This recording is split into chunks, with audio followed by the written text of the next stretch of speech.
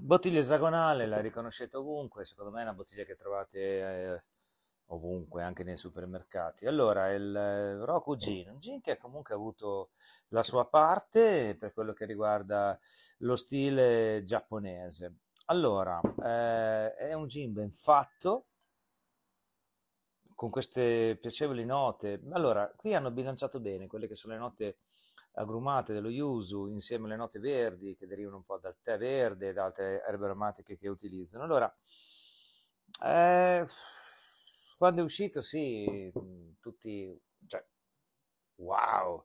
Eh, oggi chiaramente lo dai un po' per scontato, nel senso che oggi ti ritrovi con eh, una serie di gin in stile giapponese che li puoi preferire al Roku, che comunque rimane lì, rimane lì, rimane lì nel suo posizionamento di mercato, sta per, secondo me sta perdendo anche un po' interesse, però oggi ve ne parlo, è un, comunque un gin eh, piacevole, mh, di buona eleganza, ha questo bel sentore agrumato verde, entra in punta di piedi, non è di quelli che ehm, entrano in modo ehm, pesante, preponderante, no? ci sono certi gin dove in giapponese dove lo yuzu senti solo dello yuzu.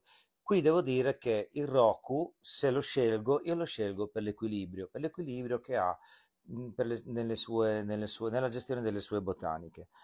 Mi piace questa, quindi questa nota grumata sottile, poi questo floreale che a me ricorda un po' le rose, ricorda un po' il licci, le note verdi, verde un po', un po', un po dure, no? quel verde eh, un po' duro, un po' fresco, un po' duro da foglie di tè. Ecco, poi dopo chiaramente mh, mm, tutta la parte delle erbe aromatiche, eccetera, eccetera. Quindi devo dire, bello anche l'equilibrio.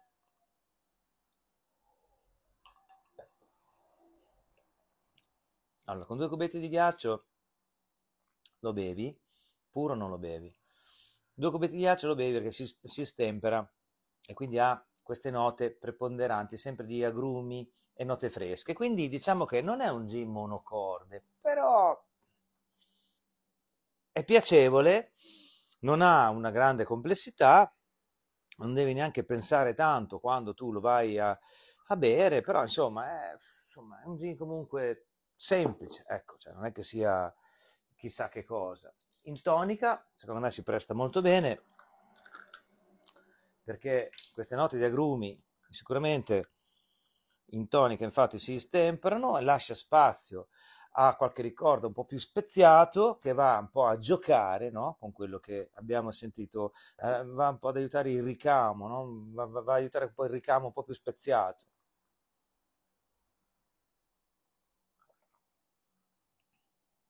Sicuramente al palato in tonica soddisfa molto di più, perché senti una parte di agrumi che regala pienezza, perché questa parte speziata va, questo ricordo no? di spezie va a dare una mano a questi agrumi che effettivamente sennò sarebbero troppo monocorde. Quindi, tutto sommato, è un gin che ha fatto il suo, ha fatto il suo tempo, si trova, ha un buon rapporto qualità-prezzo per quello che ho visto in giro, soprattutto in certi supermercati. Ecco, in tonica, vedi, viene fuori ancora questo, viene fuori più la parte pepata, che si sente anche in purezza, però con la tonica questa parte pepata finalmente riesce a prendere un po' spazio, no? All'inizio senti che arranca, poi prende spazio e comincia a giocare con gli agrumi e quindi regala un bel ricamo. Come definirei questo gin? Un gin per me un po' scontato, soprattutto oggi che abbiamo, oggi chiaramente abbiamo una miriade, una miriade di gin giapponesi di un, insomma, di un certo livello, di una certa complessità. Questo è un po' scontato, ha fatto la differenza, ha fatto un po' da apripista quando è apparso sul mercato.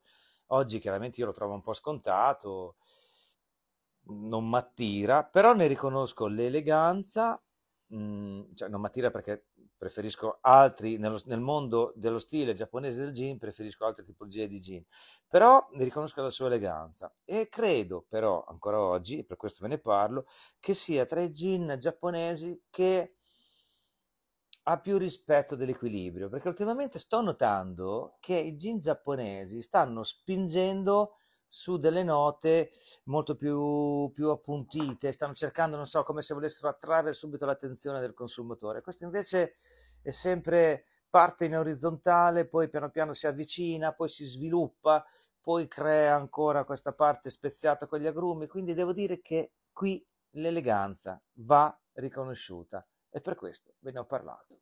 Ciao ragazzi.